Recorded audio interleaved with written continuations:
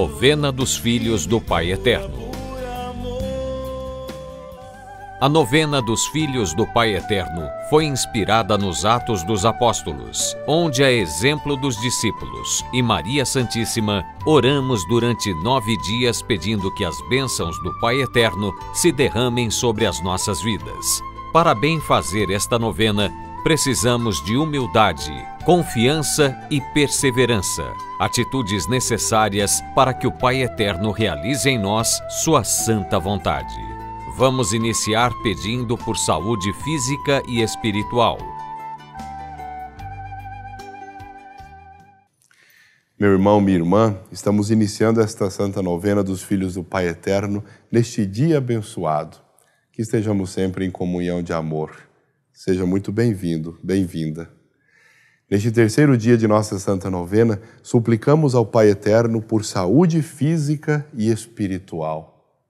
São muitos aqueles que passam por problemas, precisam de amparo, consolo, cura, seja para o corpo ou para a alma.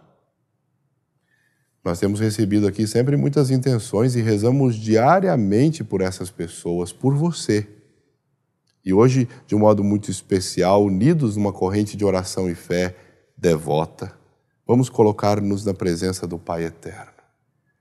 Nossas preocupações, preocupações conosco, preocupações com outras pessoas, por cada um daqueles que estão doentes, aflitos, passando por dificuldades, tratamentos, aquelas pessoas que já receberam um diagnóstico e aquelas que estão esperando ainda por receber, que elas sejam pessoas fortes, louvem a Deus se alcançaram a graça, bem-fazeja do Senhor, tenham forças no Senhor para renovar sua fé e confiança. Pensamos por aqueles que têm um espírito desequilibrado. É isso mesmo. Pensamos por aquelas pessoas que estão desequilibradas espiritualmente, psicologicamente. Rezemos pela, por aquelas pessoas, meu irmão, minha irmã, minha querida, meu querido, que estão passando pela depressão, que perderam o sentido de suas vidas. Reze por você, reze pelas pessoas que estão com depressão.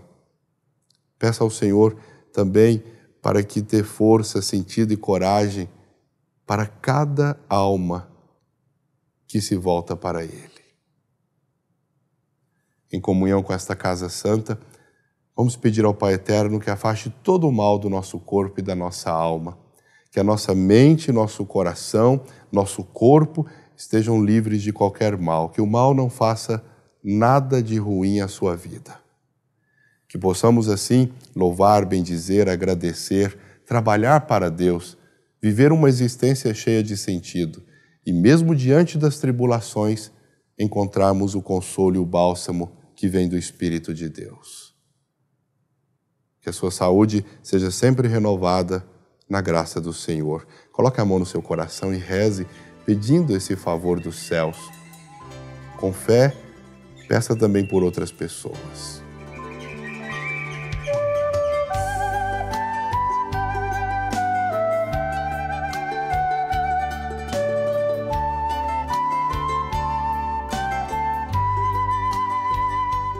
Reze comigo, Pai Nosso. Pai nosso que estais nos céus, santificado seja o vosso nome. Venha a nós o vosso reino. Seja feita a vossa vontade, assim na terra como no céu. E o pão nosso de cada dia nos dai hoje. Perdoai-nos as nossas ofensas, assim como nós perdoamos a quem nos tem ofendido.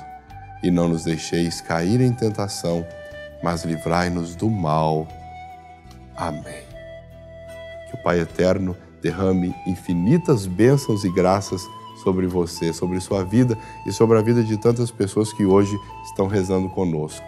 Unidos na fé, e eu, como sacerdote, peço ao Senhor, livre você de todo mal, proteja o seu corpo e a sua alma de tudo aquilo que é do maligno, para que assim bênçãos e graças estejam sempre com você e você retribua isso ao Senhor como um bom filho uma boa filha de Deus.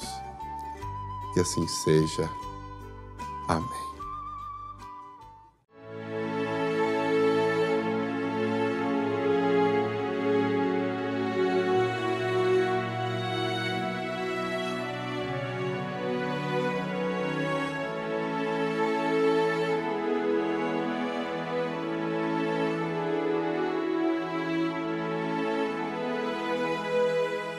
Jesus sacramentado.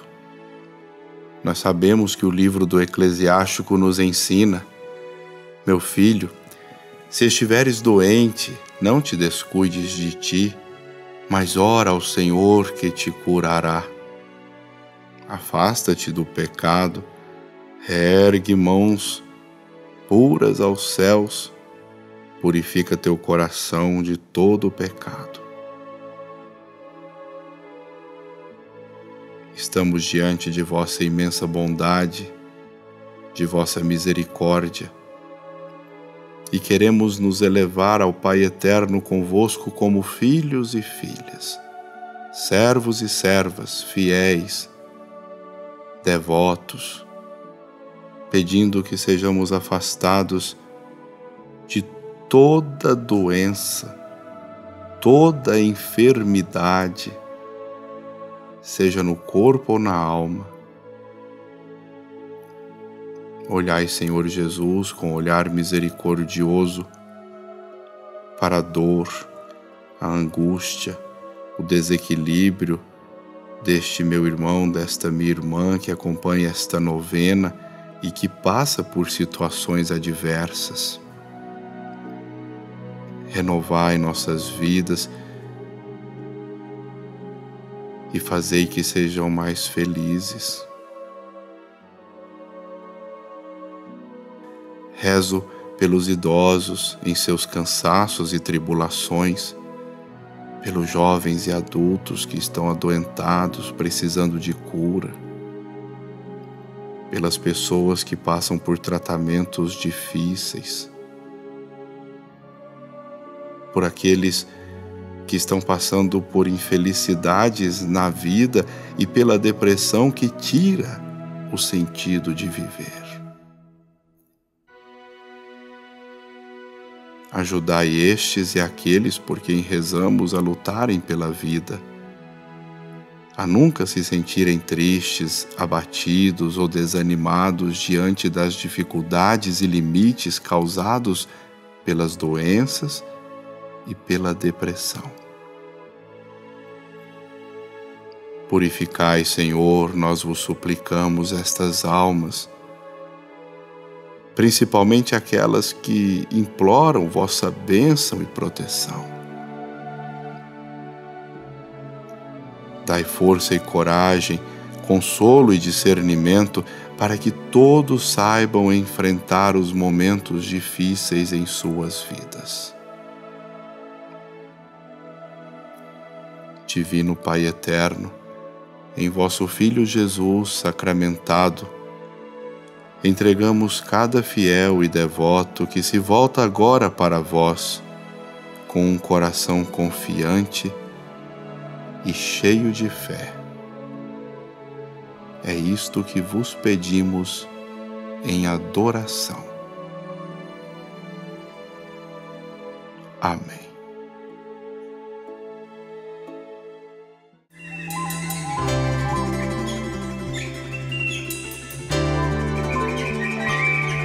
Muitos judeus tinham ido à casa de Marta e Maria para as consolar por causa do irmão. Quando Marta ouviu que Jesus estava chegando, foi ao encontro dele.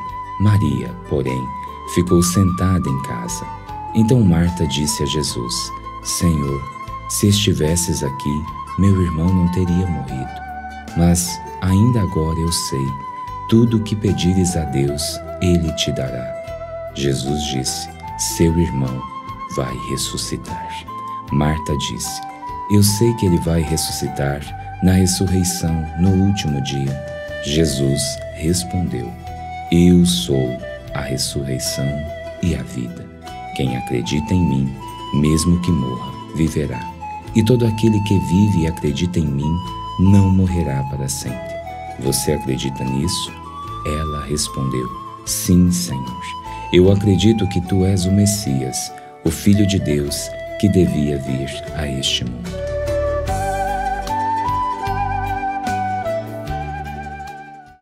Seu irmão vai ressuscitar. Meu irmão e minha irmã, essa palavra ela é de esperança, ela é de força. Ela vem confirmar que a nossa vida é eterna e todos nós que cremos no Senhor, iremos ressuscitar um dia. Esse corpo, ele é apenas um receptáculo, ele é apenas uma forma é, humana, carnal, perecível. Um dia eu escutei de um grande médico uma seguinte frase, ele é um neurologista, ele disse assim: Padre, por toda a experiência que eu tenho, por tudo aquilo que eu tenho vivido nos hospitais, nesses lugares públicos, vendo a morte de pessoas que a gente nem mesmo esperava que fossem morrer, nós vemos que a vida é somente um fio. Ela está presa por um simples fio, que pode a qualquer momento ser desconectado. Mas eu sou um homem de fé, ele disse. Esse fio desconectado, numa alma que procurou viver com Deus e servir os irmãos, ele se eterniza, se fortalece perene, ou seja, eternamente, continuamente. Escutei isso de um médico, hein? Inclusive filho do Pai Eterno. Como é importante quando a gente tem essa fé, quando a gente crê nessa ressurreição, quando a gente crê que em Cristo nós ressuscitaremos. Mesmo que Lázaro morto, toda a família ficasse entristecida, inclusive Jesus, o Senhor vem dizer a Marta: seu irmão vai ressuscitar. E ela mesma diz: Eu sei, ele vai ressuscitar no último dia. Mas Jesus esclarece ao seu coração: Eu sou a ressurreição e a vida. Quem acredita em mim, mesmo que morra, viverá, e todo aquele que vive e crê em mim não morrerá para sempre. Assim como Jesus perguntou a ela: Você acredita nisso? Jesus também pergunta para mim, para você: você crê nisso? Você acredita nessa realidade? Meu irmão e minha irmã, nós que cremos no Messias, no Filho amado do Pai eterno, mesmo que nós passemos pela dor da morte de alguém que nós amamos, mesmo que nós percamos alguém querido, um ente querido, nós temos aquela certeza que, que palpita dentro de nós, que fortalece o nosso coração, que nos enche do regozijo daqueles que acreditam no Senhor. Nós não vivemos para esse mundo, nós viveremos para a vida eterna. Como o Senhor mesmo diz, na casa de meu pai existem muitas moradas. Se não fosse assim, eu teria dito a vocês: eu vou e vou preparar um lugar especial para cada um de vocês, para que onde eu estiver, vocês estejam também. Tudo isso porque Ele é o caminho, Ele é a verdade, Ele é a vida. Ele é o caminho que gera a vida eterna, Ele é a verdade que alimenta a nossa vida e nos fortalece na certeza de que estamos indo para o rumo certo. Ele é a própria vida eterna que vem de Deus. Como é bom nós podermos proclamar a nossa fé como é bom, na hora de nós passarmos por momentos de tribulação, revigorarmos nossa alma com tudo isso. As pessoas que você perdeu, as pessoas que você nesse mundo não tem mais como visitar, conversar, amar, ver com seus olhos, falar com seus lábios, tocar com suas mãos, essas pessoas um dia estarão numa comunhão plena onde você também estará. Vocês um dia se encontrarão. Nós um dia nos encontraremos, eu e você, na vida eterna. Por isso que é tão importante, meu querido, minha querida, que a gente se prepare sempre, que nós vivamos neste mundo sabendo que nossa vida aqui é passageira, sabendo que nossos caminhos aqui são temporários. O que são 60, 70, 80 anos, 90? Para uma história do tamanho que nós já conhecemos. O que são mil anos para Deus é como um dia vai nos dizer de forma simbólica, na verdade não significam nada para o Senhor. Mas também não significariam nada para nós, porque sabemos que nesse momento em que nós aqui vivemos, nós estamos preparando nossa vida eterna, porque viemos de Deus e para Ele retornaremos na glória feliz dos filhos amados de Deus Pai.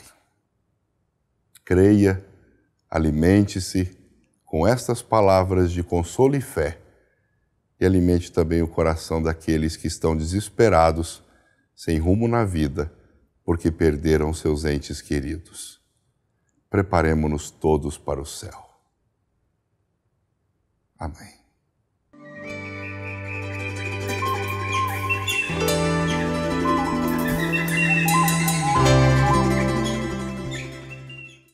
Glória ao Pai, ao Filho e ao Espírito Santo, como era no princípio, agora e sempre. Amém. Olá, eu espero que esteja tudo bem com você, na presença, no amor do Pai. Tudo só tende a dar certo, porque nós precisamos, em última instância mesmo, é só mesmo, somente da graça do Pai para continuarmos nossa vida bem nesse mundo. E é claro, com a graça do Pai, tudo vai melhorando a cada dia. Parabéns hoje a Dom Gilberto Pestana de Oliveira, desculpe, Dom Gilberto Pastana de Oliveira, bispo da Diocese de Crato, no Ceará, e Dom Heitor de Araújo Sales, arcebispo emérito de Natal, Rio Grande do Norte. Um abraço para os senhores. Vamos agora, com piedade e devoção, pedir ao nosso anjo da guarda aquela presença e aquela sua intercessão tão importantes para a nossa vida e amor para com o Pai Eterno.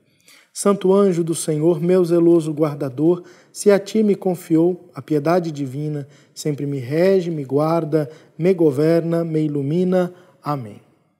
Olha só, o testemunho de hoje veio da cidade de Araguari, Minas Gerais, e foi Adair Rezende de Miranda quem nos escreveu esse testemunho. No dia 8 de dezembro de 2016, enquanto eu tirava leite, uma vaca pulou e caiu em cima de mim. O balde que estava entre minhas pernas fez um corte muito grande na minha canela e foi preciso dar 32 pontos. A cirurgia infeccionou e foi necessário fazer enxerto, que também não foi aceito. Nesse meio tempo, sofri com uma pneumonia que me fez mudar para outra cidade para fazer o tratamento. Com isso, entrei em depressão, mas não desisti. Faço parte da FIP há 10 anos, rezo o Santo Terço todos os dias e acompanho a novena, as novenas e missas. Hoje estou curado e sou grato ao Divino Pai Eterno. Obrigado. Amém. Olha só, seu Adair, muito obrigado pelo seu testemunho. Que pena que o senhor sofreu tanto, mas com a graça do Pai Eterno, o senhor pôde dar esse grande passo na sua vida, superar as dificuldades, mesmo passando por dores, pela depressão, que é uma dor psíquica horrível, mas o senhor teve essa graça de ser um vitorioso. E, é, e, com, e com o senhor, nós estamos comemorando esse momento, essa superação na sua vida. Vamos agora com o Padre Robson nos consagrar ao Divino Pai Eterno.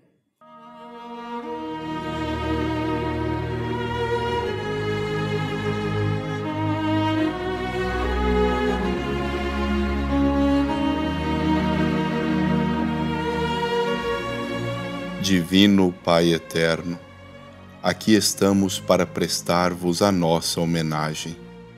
Nós cremos em vós, Pai Eterno, nosso Pai e nosso Criador. Confiamos em vossa bondade e poder. Queremos amar-vos sempre, cumprindo vossos mandamentos e servindo ao vosso Filho Jesus na pessoa de nossos irmãos. Nós vos damos graças pelo vosso amor e pela vossa ternura. Vós nos atraís ao vosso santuário e nos acolheis de braços abertos. Vós nos guiais com os ensinamentos do vosso Filho, nosso Senhor, e nos dais sempre o vosso perdão. Divino Pai eterno, queremos consagrar a vós nossas famílias, para que vivam em paz e harmonia. Nossas casas, para que sejam iluminadas pela vossa presença. Nossas alegrias, para que sejam santificadas pelo vosso amor.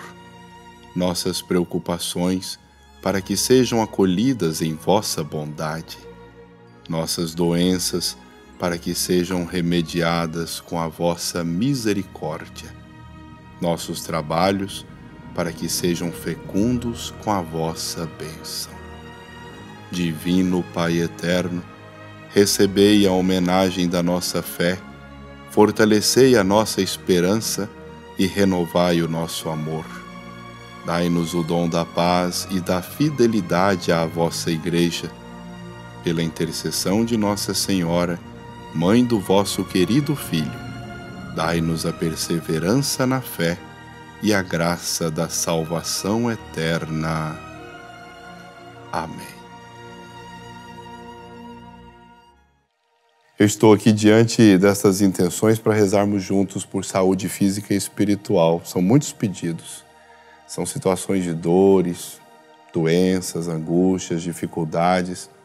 São muitas as intenções as suas variedades de pedidos que nos são apresentadas todos os dias. São muitos pedidos de oração que eu recebo de pessoas que estão sofrendo e que também rezam por outros devotos que precisam de recuperação. Vamos colocar todas as súplicas diante do Senhor. Pai eterno, Pai misericordioso e Deus de fidelidade, olhai pelas preces deste meu irmão, desta minha irmã, que receba a graça que tanto necessita para si, para aquele por quem reza. Se for da vossa vontade, Senhor da vida, que sejam atendidos estes pedidos a nós enviados e estes que estão sendo feitos agora para remediar e curar suas dores, suas angústias, juntamente com vosso Filho Jesus na cruz, que tanto sofreu, tanto padeceu por todos nós, para que sejamos por ele salvos, também regozijando-nos pela nossa perseverança na fé e no amor que sejam ouvidas estas preces elevadas ao vosso coração, ó Divino Pai eterno. Amém. Vamos também rezar pedindo a bênção para nossa água. É, apresente a água que você tem aí diante do seu televisor, do seu rádio. Peça a bênção de Deus para a sua vida. Peça a bênção de Deus para aquelas pessoas que tanto necessitam estenda a mão sobre a sua água, ou mesmo faça assim como o Padre está fazendo, para que essa bênção seja na comunhão de todos nós, filhos amados do Divino Pai Eterno. Senhor, Deus da vida, Pai do céu misericordioso, Deus fiel e de bondade, de amor, vós que sois o Deus da vida, o Criador do universo, Deus de misericórdia e compaixão Fazei desta água, Senhor, pura e santa, um veículo de graças e benefícios temporais e espirituais sobre todos os que dela tomarem, ou por ela forem aspergidos, Senhor. Que encontrem nesta água abençoada, pela força da fé, a graça da saúde, do restabelecimento de suas forças. E assim, por esta água, ó Deus de misericórdia, graças e benefícios infinitos sejam derramados sobre este meu irmão e esta minha irmã que apresenta a sua água diante do vosso amor, nesta corrente de fé e devoção. Vós que sois Deus, viveis e reinais pelos séculos eternos. Que assim seja. Amém. Bebamos juntos a nossa água purificada, abençoada água do Divino Pai Eterno.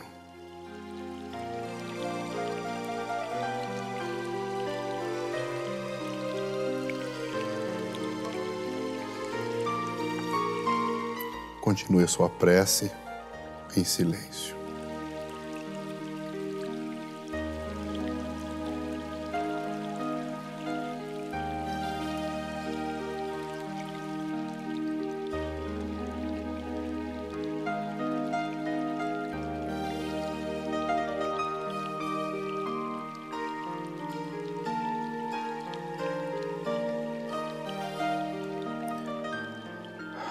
Divino Pai eterno, tende piedade de nós. Eu quero muito agradecer a você que faz parte dessa família de amor, de intercessão, juntamente com tantos outros que estão conosco nos ajudando a evangelizar. É graças a você que temos podido levar amor e bênçãos a tantos corações, conversões a tantas famílias, o bálsamo do Espírito Santo a tantas almas. Meu irmão, minha irmã, se você ainda não faz parte da família dos filhos do Pai Eterno, entre conosco nesta missão de vida, de fé, de amor. www.paeterno.com.br é o nosso site e o nosso telefone, é o nosso telefone 62 3506 9800 62 3506 9800 e você se cadastra até mesmo em nosso aplicativo, é para quem tem celular, né, telefone móvel, é só ir lá no app, escrever Divino Pai Eterno, existe um aplicativo só para que você possa acompanhar tudo o que acontece na casa do Divino Pai Eterno. Inclusive, até mesmo acender sua velhinha da fé, tanto pelo site como pelo aplicativo, que é também internet, e também fazer ali a sua oração juntamente comigo nos diversos CDs orantes que eu já mandei para tantos filhos do Pai Eterno, mas que estão ali também para você ouvir. Muito obrigado. Seja filho amado e evangelizador do Divino Pai Eterno. O Senhor esteja com você. Ele está no meio de nós. Por intercessão de Maria Santíssima, a Mãe do Belo Amor, e de todos os santos e santas do céu, desça sobre você, sobre todos os seus, sobre as suas intenções e necessidades e as suas ações de graças, a bênção de Deus misericordioso. Ele que é Pai, Filho e Espírito Santo. Amém. E nós vamos rezar amanhã pedindo por perdão e reconciliação na novena dos filhos do Pai Eterno. Esteja sempre nessa comunhão de amor e até amanhã com as bênçãos do céu. Muito obrigado. Tudo é do Pai,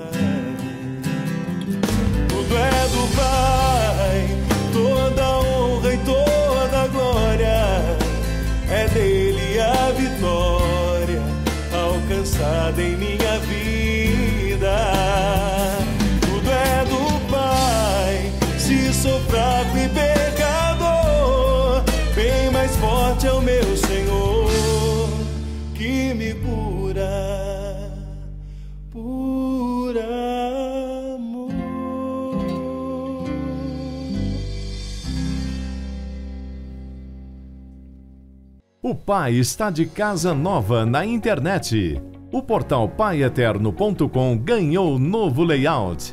Mais fácil de navegar, moderno e repleto de novidades. Aqui você encontra notícias da igreja no Brasil e no mundo, Evangelho e Santo do Dia, apoio espiritual e as velas da fé. A página do Padre Robson, suas reflexões, homilias e mídias sociais. E tem ainda tudo sobre a Associação Filhos do Pai Eterno. Clicando aqui, você se associa de maneira simples e rápida e passa a fazer parte desta família de amor ao Pai Eterno. PaiEterno.com A Casa do Pai na internet.